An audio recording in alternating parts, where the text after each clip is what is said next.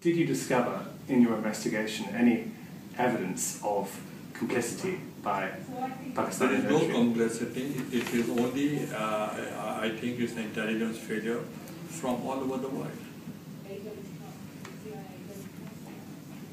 Why should we do that? We have suffered the most.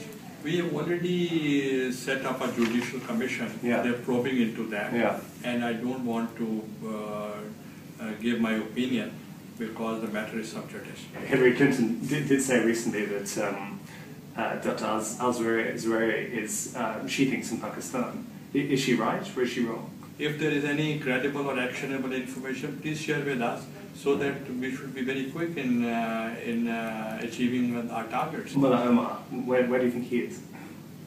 I don't know, please tell us. Uh, I don't know. We really want to have partnership with United States and we have multilateral cooperation. And especially I'm totally focused on uh, Afghanistan. We would uh, like to support any reconciliation, uh, political reconciliation in Afghanistan, which is Afghan owned and Afghan led. All high value targets of Al Qaeda, they have been achieved through our cooperation of ISI with the CIA. Your vision for Afghanistan, does it include um, the Taliban sharing power in Kabul, or do you envisage the Taliban not being in power? I, I have only one thing in my mind.